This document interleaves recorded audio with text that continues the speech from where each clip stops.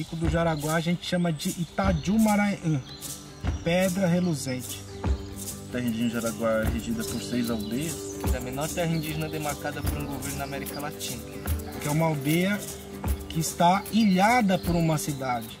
Quando a gente sobe no Pico do Jaraguá e olha para a cidade, a gente vê uma cidade morta. A cidade foi esmagando a gente, né? Então tudo isso gera muita consequência né? no modo de vida guarani. Por mais que hoje a gente não foge do bandeirante, a gente ainda tem que combater o um incêndio. Pessoal, a gente vai morrer aqui, porque o nosso território está em chamas.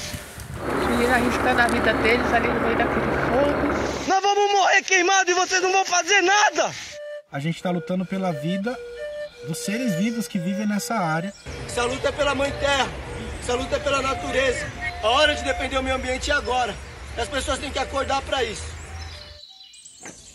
Infelizmente a nossa história, ela sempre se marca assim, se marca com sangue. Não dá para entender como o povo é omisso com crime ambiental. A gente não foi assassinado porque a mídia ela é muito focado no território Guarani do Jaraguá. Lugares mais afastados, lideranças estão sendo assassinadas.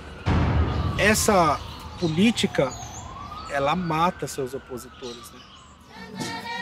Enquanto o povo indígena existir, o mundo pode sonhar.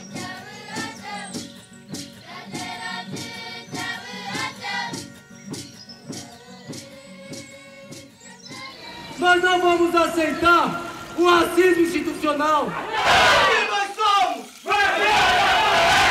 E por ela nós vamos lutar!